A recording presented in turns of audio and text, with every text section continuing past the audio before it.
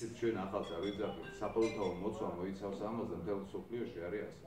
ეს არის ამბულატორიული მკურნალობის ხარჯები, ანუ თუნდაც პატარა ბავშვს, რომელსაც დაუსვავ დიაგნოზს.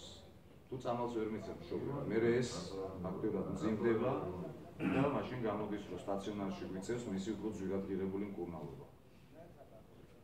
დროულად თუ მან ვერ დაიწყო მკურნალობა, თუნდაც დიაგნოზი დაუსვა დანიშნულებაც მიიღო. ამიტომ აქ არის თელ სოფლიოში ასე, ყველაზე ძვირი ხდება წამლები ჯანდაცვაში, საკმაოდ დიდი თანხამედი სამართლისა დაზღვევაზე.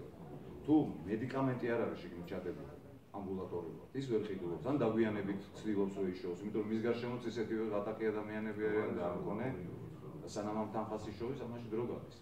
აქედანაც გაწერილს უნდა კონდეს საშუალება იმისი, რომ ფინანსდებოდეს, თუნდაც მოვიდეს აქ და ის მედიკამენტიც გაიწეს, ან უნდა კონდეს სახელმწიფო ჩადებული ეს ყველაფერი. ან კურნალობა ბოლომდე უნდა მივიყვანო. რა მნიშვნელობა კოოპერაცია გაკეთა და ამთავრო 5 დღეში გავიდა სიტყვაზე, ან 3 დღეში გაწერეს, გააჩნია ხოლმე როგორი არის. იმის მერე თუ არ გავგზელო უკან არ შემოგვიდება?